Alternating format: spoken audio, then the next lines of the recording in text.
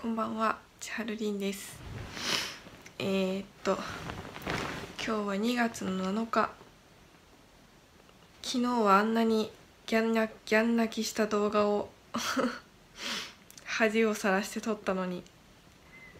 なんで今日はこんなにケロッとしてるかって。まあ本当に残ってる数少ない3つ4つぐらい事務所を回ってきたんですけど。今日最初に行った事務所が少しちょっと手応えを感じましておかげさまで少し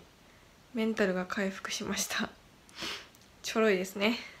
あでもまあちょっと決まってはいないからまだ喜べないんですけどちょっと保留みたいな感じになってるので少し気持ちが落ち着きました。あの事務所がスーパービジーだと。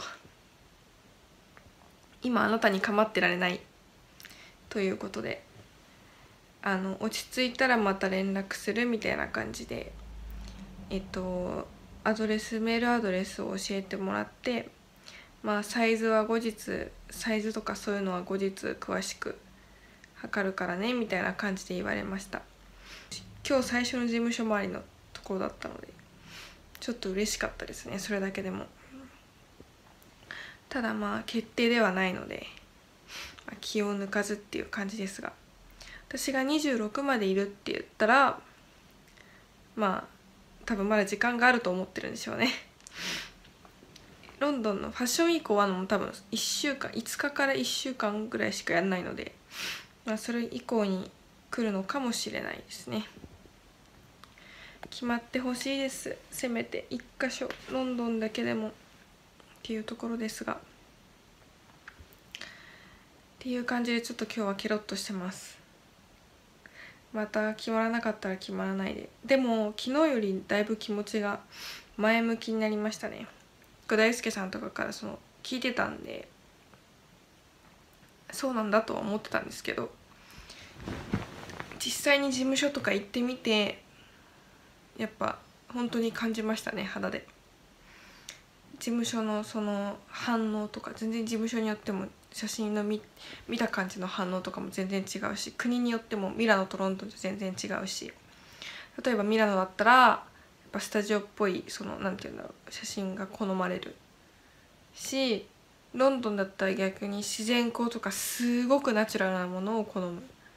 でやっぱ全然違いますね。日本は日本でまた別に好みがあるし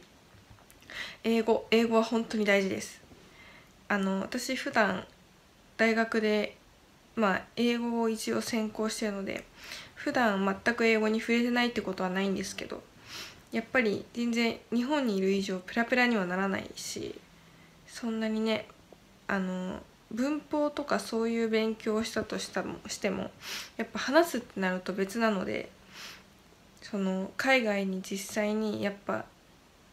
行って外人さんとコミュニケーションを取るっていうのはネイティブの人とコミュニケーションを取るっていうのはやっぱり大事だなって思いました。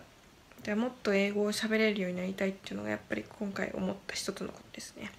その本当に正直 LINE のなんだろう返事とかそういうのも返す気力がないくらい気持ちが沈んでたんですよ。だから本当にごめんなさい。もうなんかね既読もつけずに内容はなんとなく読んでるけど返信できずにいたところとかもあったんですけどまあ後輩とかももちろん友達にも励まされてすごくやっぱ応援してくれてる人がいるのはすごく嬉しいことですね。すごく元気づけられました。やっぱそうですね。なんかこっちにいたら一人だけどやっぱね周りの日本の日本にはねそうやって家族とか大輔さんはじめいろんな人が本当に私を支えてくれてるんだなっていうことも知ったしそれに対しての感謝も忘れちゃいけないなっていうのも思いましたね。本当にこのままじゃ本当に日本帰れないです。申し訳なくてって思うんですけど。まあちょっとね気持ちは明るくなりましたかね？昨日よりかは。昨日が一番やばかったですね個人的には。